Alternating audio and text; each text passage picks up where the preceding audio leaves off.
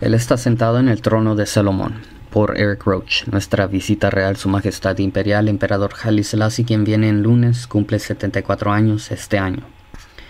Él nació en julio 22, 1892 y ascendió al trono de Etiopía en noviembre 2, 1930 para gobernar sobre un reino de 21 millones de personas.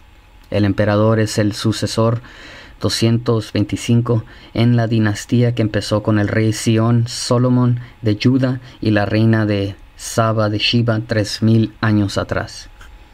Uno de los países más antiguos en el mundo y la antigua nación independiente dentro del continente de África. Etiopía comparte fronteras con Kenia, el Sudán, Somalia y el Mar Bermejo. Sus gentes son de una antigua raza cual, por causa de migraciones primitivas, sigue no siendo definida hoy, raza antigua.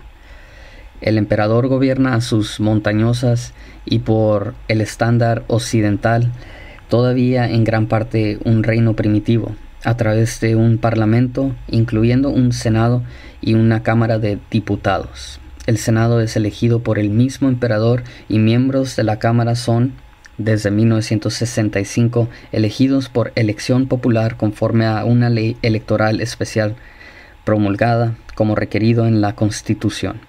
Anteriormente, miembros de la Cámara eran escogidos por los líderes de las provincias de las cuales vienen ellos.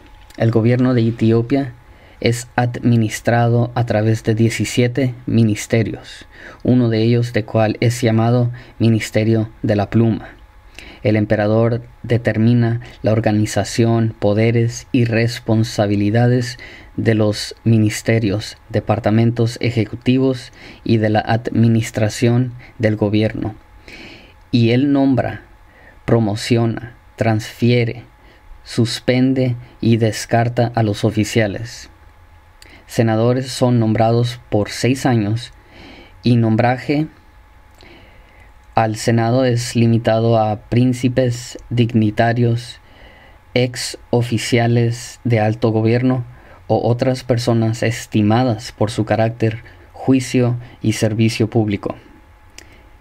El plazo de oficina de un tercio del Senado termina cada dos años. Senadores son elegibles para ser nombrados de nuevo.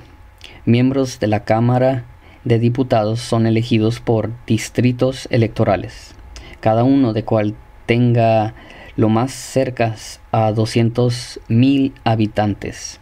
Cada distrito electoral es representado por dos diputados. También cada pueblo que, que contenga una población de más de 30.000 habitantes elige un diputado y adicionalmente otro diputado por cada 50.000 arriba de 30.000.